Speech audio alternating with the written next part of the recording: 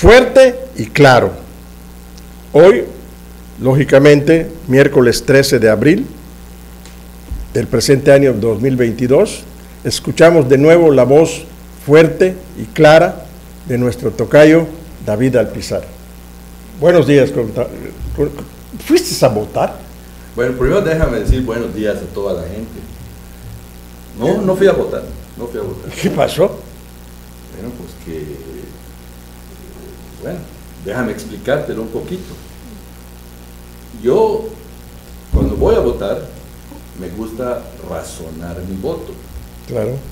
Y en esta ocasión, pues no había nada que razonar. O sea, no, no había competencia. Si yo hubiese visto que la oposición pues estaba en competencia, pues me hubiese puesto a analizar de qué lado podría yo dar Era voto. este o este, ¿no? Sí, este, bueno, ¿qué fue lo que pasó, no? Al menos desde mi interpretación.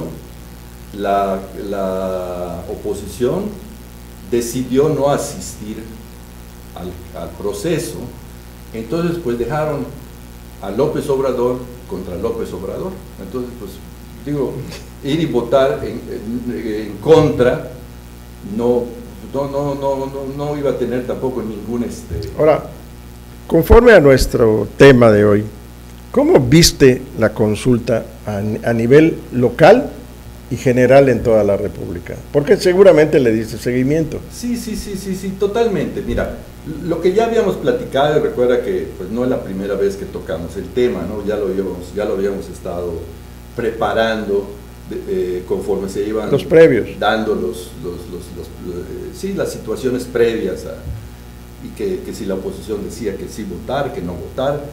Y bueno, hoy muchas de la oposición dice ganó el abstencionismo.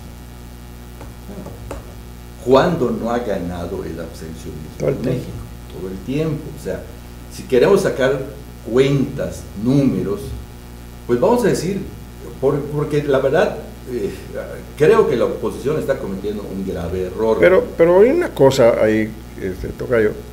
Abstencionismo es falta de ética democrática. Sí, lo que tú quieras. O sea, llámalo como... Y, y, me, y me, también me declaro que no fui, no fui a votar pero también razoné lo que, lo que tenía yo que hacer. Muchos me dijeron, si no vas, otros van a votar por ti.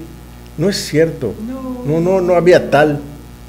No, mira, te repito, o sea, este, estos resultados me llevan al análisis porque creo que erróneamente la oposición está diciendo, ah, solo el 18% votó por él lo cual quiere decir que el 82% de los mexicanos no lo estamos en su contra o no lo queremos. No, y, digo, y lo, lo digo en buen, en buen plan, porque si la oposición se aferra a, ese, a esa interpretación, no se va a, preparar bien para la, para, para la contienda del 24. O sea, es tan fácil como decir, bueno, si el 82 está en contra, ¿por qué no fueron, votaron y lo sacaban? porque no puedes sumar al abstencionismo puro ni de un lado ni del otro. Y sí es cierto, en México el voto es un derecho y una obligación, pero no hay ninguna obligación, eh, digamos, forzosa de votar. Entonces en México, el, por principio, vamos a decir que es, vamos a desmenuzar ese 82%. ¿Ok? Ese 82%, por principio, quítale 40% de los abstencionistas que nunca votan en ningún proceso, llámese estatal, municipal, federal. Te escucho, te escucho. O sea, en México ni un, ni ni un proceso eh, ha ido mucho más allá, creo que del 61, 62%. Por, por lo tanto, en un promedio histórico, podemos decir que el 40% del mexicano no cree en las elecciones y nunca vota. Entonces eso deja un 42%. Eh, podemos decir que cuando López Obrador gana, gana con el 30%, o sea, una tercera parte de la votación, Por 30 millones de 90 millones de, votantes, este, bueno, son 70% eh, y le deja, o sea, los 30 que ganó López Obrador. A los demás partidos. los 40 le deja 30 a los demás partidos. Y, el abstencionismo. No, vamos a quitar el abstencionismo. 40. El 30, que queda 30 a los otros. O sea que en teoría, si la oposición se unía y salía a votar, no, ganaba López. Pudieran haberlo sacado. Y es ahí donde me da un poquito de risa, pero también lo tomo en serio, porque también les voy a recomendar a, algunos, no es mi personaje favorito, pero eh, me llamó mucho la atención el video que saca Gilberto Rosano, eh, Lozano, el directivo de Frena, Frena. ¿okay? en donde acusa, fíjate, él acusa a la oposición, a los partidos PRI, PAN, PRD, NC, de traición, porque dijo, si ellos salían, rebasábamos lo que sacó, los 15 millones que sacó este. Pero se hizo una convocatoria bastante fuerte por, por todos los medios habidos y por haber, se promovió incluso a través del mismo gobierno lo de la revocación, cosa que no era normal, era, eh, eh, era una cosa que hasta se llevaba, llevaba a risa pensar de que el mismo gobierno se va a, hacer harakiri, ¿no? Claro. No es cierto. Entonces, eh, yo veo una, cosa, se logró un 18% en el total del padrón, de los 94.5 millones de, empadronados, ¿no? De los cuales el 6% votó en contra de él y a él, y a, él eh, a favor votaron el 12%. El 12% de 94 millones es, te da una fracción ahí de 10.5 millones. No, no, no, no, no, no, no. Eh, creo que tus números están mal. Creo que de los 18 fue 16 a 2 o, 16.5 a 1.5. Chécalo. O sea, los que votaron no, creo que no llegaron más que de un millón y medio. Ok, pero vamos a razonar mucho más. Si somos 130 millones de mexicanos, de los cuales 94 está, son, son votantes, 130, hay una exclusión aquí, niños recién nacidos, eh, jóvenes que todavía no alcanzan la edad eh, madura, o sea, la, la, la ley no, no les permite todavía. Sí, de los cuales, de, de estos 130, quítales 30 ¿Y qué te quedan? Este 94% es el 100, 100 millones. De hecho, de hecho son 100 millones, de los cuales empadronados todavía no están el, el, 100%, el 94, 94 millones sí están, hacen falta este, 6, 7 millones de, de, no empadronados de los, de, los, de los 100. Estamos excluyendo y todo de los cuales alcanzas tú 12 millones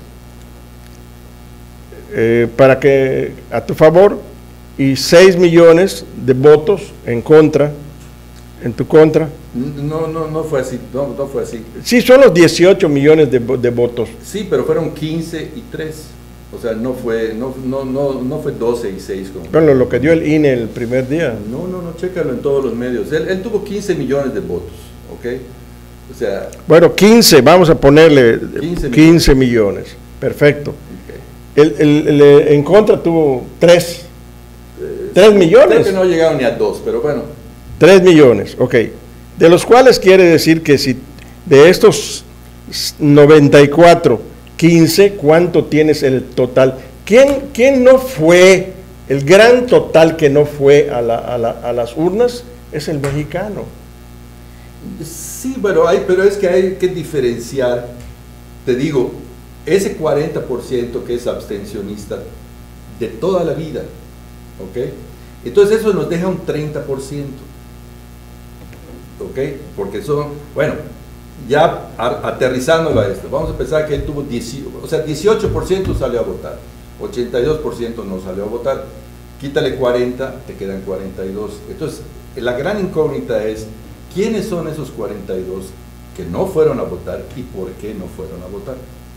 O sea, pues si tú tienes tu credencial de elector, bueno, es un deber cívico y además es una, es una, este, ¿cómo se llama? Es una cosa de democracia en un, en un país que está alentando el, la participación. Pero, pero, no puedes decirte triunfador. No, no, no, no, no, no, no, no, no, no. Yo es que es lo que te digo, o sea, yo creo que eh, lo de que triunfador, perdedor, que ganamos, que somos más, que son, son narrativas propagandísticas. O sea, realmente, vamos, en este ejercicio nadie ganó, nadie perdió. No se puede establecer ganadores ni perdedores. Sí, sí perdimos los mexicanos 170, 1.700 ah. millones de pesos. Sí, sí, sí, sí, sí, sí, bueno. Que eso, eso costó esto, más lo que la parafernalia que eh, eh, eh, instaló el mismo gobierno, este, haciendo la, la promoción. Sí, bueno. O no lo hacen gratis, ¿no? No, no lo hacen gratis, pero eh, de una u otra manera son 170 millones que regresan a la economía, o sea... 1.700. O 1.700 que regresan a la economía del país, o sea, eh, el que vende camisetas, el que vende eso, o sea, muchos, muchos se ven beneficiados. Claro, eh, también se puede hacer el análisis, bueno, eso se pudo haber usado en cosas más necesarias, efectivamente. Pero bueno, más allá de ese análisis, vamos a decir, de la vamos a decir, de, de la cuestión económica, de que si es ético o no es ético gastar 1.700 eh, millones en, en, un, en un ejercicio que prácticamente además no le correspondía. a nadie a él no le correspondía. A él no, tú no puedes hacer retroactiva una ley. Y estuve claro no, tú no puedes decirle a este presidente tú, ya se instauró la ley ya, ya está en la, en la constitución sí Hoy es para el que sigue, no es para el que está en el turno cuando se, se, aprueba una ley. No puede ser retroactiva. Pues mira, mira, te voy a decir. A él lo eligieron para seis años. Sí, sí, sí, o sea, hubo muchas especulaciones, pero sin embargo él dijo, si me ganan, al día siguiente me voy. Y eso es lo que argumentaba Frena. Frena dice que sí había elementos eh, legales para que si se lograba el voto eh, mayoritario en su contra, había argumentos para la elección La elección del 18 eh, tuvo un repunte alto de votación del 72% del gran total del, del, padrón nacional. Quiere decir que hubo un abstencionismo del, 28 o fracción, 30%. 30% un, un, un, este, eh, abstencionismo de esa, de esa calidad, de los cuales, si tú tienes de los 94, el 30%, ¿cuántos votaron? Los que votaron a favor de él fueron, se supone que logró la cifra de 30 millones, ¿no? Sí, eh, ya hubo una elección eh, previa, la del 2021, ya hubo una elección previa, en la que eh, se tenía que dilucidar estados, ciertos estados, y la, fracción que corresponde a la hoy Ciudad de México, en el cual se vio una gran diferencia entre lo que era la gente que apoyaba decididamente la, la política del, del, famoso peje. Sí, esto, esto ha ido decreciendo. Sí, mira, y te, voy, y te voy a explicar dónde creo yo que está ese decrecimiento. No es lo mismo Morena que López Obrador. No. ¿Ok? O sea, eso es lo primero que tenemos que eh, diferenciar. Hay gente que vota por López Obrador, pero que no se identifica con Morena. O sea, por lo tanto, los votos que haya recibido ahorita, vamos a pensar que hayan sido 15 millones, yo diría que los recibió López Obrador, no Morena. Si Morena se confía de que tiene ese voto duro de 15 millones, pues se lo pueden comer en el 24 porque no, nadie garantiza que esos 15 millones sean del partido Morena. Bueno, pues ya habrá un contrincante o varios contrincantes. Ya habrá un contrincante o varios contrincantes, así como tú lo estás diciendo. Si y me subo al ring nada más a tirar veletazos y nadie, ni el... Y es ahí, y es ahí cuando... Ni el referee va, y es ahí cuando mucha gente, como tú, como yo, que siempre votamos, pero que primero analizamos nuestro voto, vamos a salir a votar. Claro. ¿Ok? Y allá es lo que te digo, hay un gran porcentaje Vamos a, vamos a hacer números. Si pensamos que, que, López Obrador tiene un voto duro de 15 millones de votantes, pensar que, que, que este ejercicio nos diera esa, esa, esa imagen, esa instantánea de 15 millones, quiere decir que otros 15 millones votaron por él en el 18 por otras razones. A lo mejor el hartazgo de los regímenes anteriores, a lo mejor querían un cambio, a lo mejor pues solamente eh, dijeron pues, pues, pues este señor habla mucho, vamos a ver si nos cumple. Bueno, por muchas razones. Pero vamos, eso es lo que te digo, el abstencionismo de, de, esta, de este proceso, que sí fue un 82%, yo le tendría que quitar el 40% de los, de los abstencionistas eh, empedernidos, los que nunca votan. Entonces se nos queda un 30%, y ese 30% lo tenemos que dividir entre la oposición que decidió no salir a, a, competir y la gente que no vio, como tuvo como yo, un interés por votar, porque no había nada en juego. No había realmente... Bueno, la, la oposición le hizo, le hizo la, el, El vacío, desdén. el vacío total. Sí, le hizo un desdén, le hizo el vacío, pero a, a mí me gustó más la posición de gente como, por ejemplo, una, una de las personas que a mí me caen bien este, en, en la oposición y que para mí sería un excelente candidato de la oposición en el 24 es este senador Damián Cepeda, Panista. Panista, panista. Damián Cepeda salió a votar porque era de los que creían que, que, que aunque pierdas, tienes que perder compitiendo. No, no, no, no, o sea, perder por, por, por, por, por, no presentarte, vamos a llamar el forfeit, default, no contes, o no sé cuántos términos hay en el deporte. Era, era este, renunciar a, a tu combatividad. ¿Qué, ¿Qué, hubiese pasado si realmente salía la, la, oposición y quedaban 15 a 12? Aterricemos, ter, aterricemos Yucatán, que es nuestro, Yucatán. nuestro Istoco y Solar. ¿Cómo Eh, vistes tú la participación? Bueno, por principio lo habíamos platicado, ¿no? Los, los López Obradoristas y los morenistas, Son dos, dos, que son, dos, dos cunas que, que son no tal vez sea como agua y aceite, pero que a veces se mezclan, hicieron su chamba. Porque de que hubo acarreo, hubo acarreo. O sea, no van a- Y más en estos casos donde, por ejemplo, eh, unas personas que conozco de, de Bocobá, pero en Bocobá es un, es un municipio pequeño, no hubo casilla, tenían que ir a votar hasta Cacalchen, que está a 6 kilómetros. Bueno, alguien los llevó para que votaran. ¿Quién los llevó?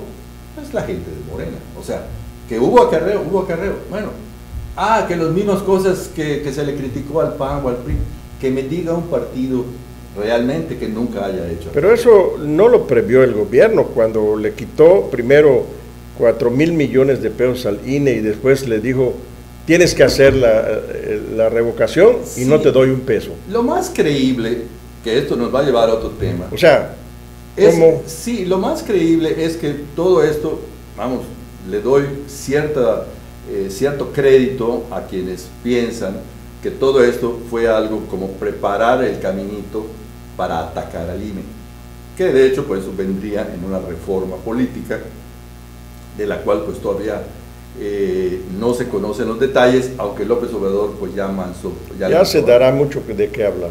no, va a venir, va a venir pronto, porque además él lo dijo. Son tres reformas que, que- que quiero hacer. La reforma eléctrica, la reforma política y la reforma de la Guardia Nacional. O sea, él lo dijo desde un principio. Y eh, este, eso sí puedo decir, cuando él dice algo se sostiene y no va a, a- a- a- a- a parar para lograr esas cosas. Ya sea que las logre en el sentido correcto o que se las vote la oposición, pero no va a parar en su empeño de llevarlas adelante. ¿ok? Entonces, ¿qué es lo que pasa? Si me dicen que esto fue una preparación para atacar al INE, si quieren usar la palabra atacar, más bien es una preparación hacia lo que seguramente nos van a presentar como una reforma política. Es una, es una estrategia política de, que de, hecho gobierno. ya nos dio hasta los antecedentes, algunos con cierta coherencia, otros no. Por ejemplo, que los, eh, ¿cómo se llama? Los consejeros del INE, que sean, que sean eh, elegidos, elegidos por, votación directa de la población. No, no, eh, sí. Por Dios, sí, claro, ya lo sé. No, por eso, pues, entonces dice, bueno, y, Son entonces, 20 del Senado, 20 de, o sea, de los legisladores, 20 del gobierno y 20 de, del INE. Que hagan, el, que, hagan la elección la de aquí, elección. aquí No parece tener sentido, o sea, no, no parece tener sentido. Pero por otro lado... Lo deben de hacer a mano alzada. Pero no, pero por otro Y lado... en, y en Chiapas. Pero por otro lado, desgraciadamente el INE es una, o sea, realmente, a mi juicio, promueve una partidocracia, no una democracia. Porque es- es- o sea, hay gente partidaria dentro de, de- de- del Ah. O sea, ¿quién propone a los consejeros? Los partidos. Los partidos. Entonces, ¿quién que te propone no te va a venir el día de mañana a recordarte que gracias a él estás tú en el puesto donde está y que ahorita necesita que le hagas un favor? Entonces, sí, cierto. Y yo soy de los que creo que el INE se debe de reformar. Se me hace extremadamente caro el INE. O sea, ya revisé países del primer mundo. Bueno, nuestro gran ejemplo siempre, Estados Unidos. No tiene un organismo electoral permanente. Tienen un colegio electoral que se, que se instala Se instaura para la elección. para elecciones, pero no tienen un, un, este, un organismo permanente que le cuesta infinidad. No sé, Y sí cuesta. puede ser, puede ser, puede ser una, unas- unos números falsos, no lo sé, pero yo leía un reportaje donde decía que en Estados Unidos el voto al gobierno le cuesta fracciones de dólar, centavos de dólar, cada vez que hay elecciones. Y en México nos cuesta 25 dólares cada voto, que se ejerce o no se ejerce. Es caro. O sea, extremadamente caro. ¿Qué es lo que debemos hacer? Una reforma. En la mayoría de los países existe siempre un tribunal. Y ese tribunal tiene una ala ejecutiva que es la que organiza las elecciones. Pero, pero, pero, pero, por ejemplo, un consejero, sobre todo un consejero Lo que no se debe de tener, Tocayo, es que, re- de que regrese las elecciones a gobernación, o sea, al gobierno de la Eh, República. en eso ¿Por qué? Porque ahí, pues, lo vimos durante 75 años, ¿no? estamos totalmente de acuerdo. O sea, el gobierno no puede ser juez y parte. No. O sea, eso definitivamente. Bueno, Ahora- ya se logró, ya se logró un INE, Ya se logró un INE. Vamos a mejorarlo. pues sí se debe de mejorar. Yo estoy de acuerdo en lo que tú estás diciendo. Es muy caro, pero ¿cuánto de caro resulta no tener un INE?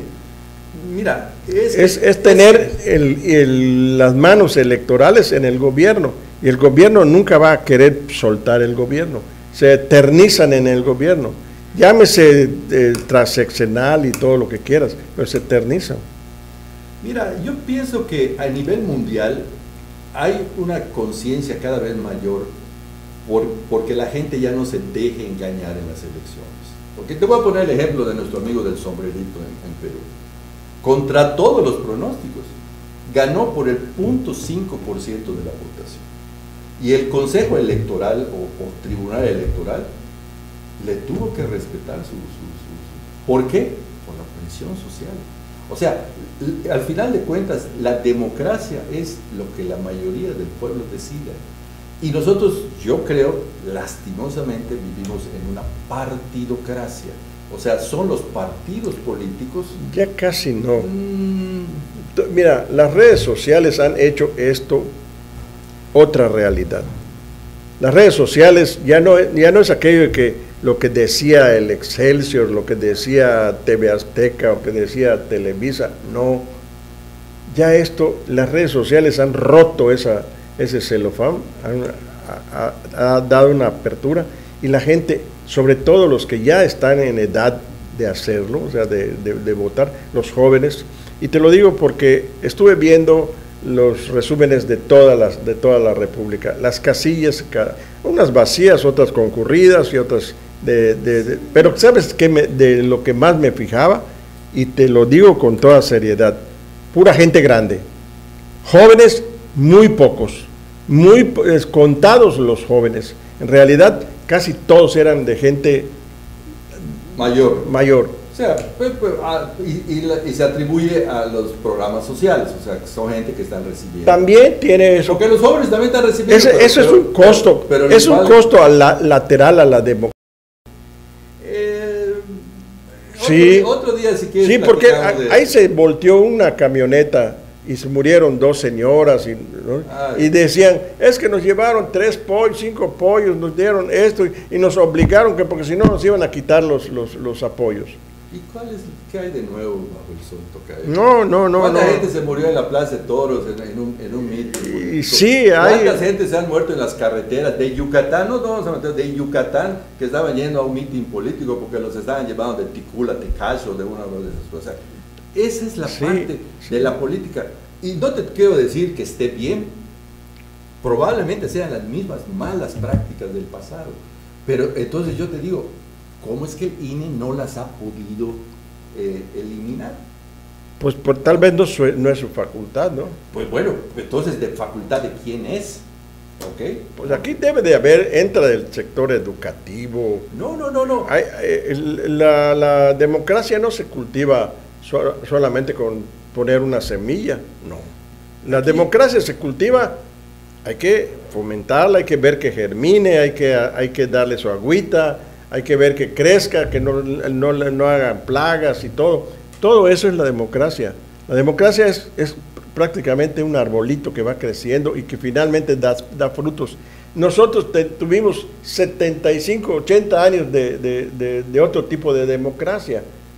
¿Qué es lo que pasó? Y hubo un cambio, vino otro cambio, vino un tercer cambio. Ya tenemos uno que es abanderado de la democracia, pero se le han descubierto muchísimos errores. No, no, no, no, no. yo no estoy hablando de la persona o de y que antes bueno es que se ha vuelto un todólogo sí sí sí hemos o sea cuando analicemos la personalidad de, López Obrador vamos a encontrar infinidad de defectos como persona como como político como líder eh, bueno hasta como Mesías, como le dicen algunos. O sea, no, no, no, no, yo no lo considero un Mesías. Bueno, finalmente, eh, vamos al punto, para cerrar. ¿ok? Este ejercicio tiene mil aristas y cada quien lo va a interpretar a su manera. Ahora, definitivamente tiene un papel importante de cara a las elecciones del 24 en todos los niveles, tanto estatales como federales y los que sepan leer entre líneas estos resultados podrán prepararse mejor para la, para la contienda. pues eso, eso esperamos porque realmente México se puede volver un caos de la noche a la mañana. Como está sucediendo en varias partes del mundo. Sí, y se puede volver un caos tremendo. Y fíjate dónde veo yo el mayor peligro. En que el mayor peligro puede venir de Morena, porque hay muchos aspirantes que, se creen con derecho a ser los herederos. Famosas corcholatas. O sea, se creen... Y, ¿Pero quién los fomentó? Bueno. ¿Quién les dio alas a los alacranes? Eh, pudiéramos decir que sí, es en gran parte culpa de López Obrador, pero bueno, la otra cara de la moneda es que él ya hubiera nombrado un delfín, como hizo Chávez en, Venezuela con Maduro o como hizo Fidel con su hermano en Cuba. O sea, si verdaderamente ver... O como hizo Perón con su... O como hizo Perón con su esposa, que te lo dije la vez pasada, ojo, si se ponen a pelear entre todos, la señora puede ser la candidata porque nadie conoce mejor los secretos de López Obrador. Es cierto. Bien, pues aquí termina este capítulo que le agradecemos a David. David es, pues, hasta cierto punto, dentro de los de las grandes cosas que ha hecho en su vida, también es un analista de la vida pública de México. Y pues estamos hablando de ello. Muchas gracias, Tocayo. Gracias. Y vamos a entrar a otro programa que este esperemos, todavía más esperemos todavía más caliente todavía. La reforma eléctrica. Vámonos.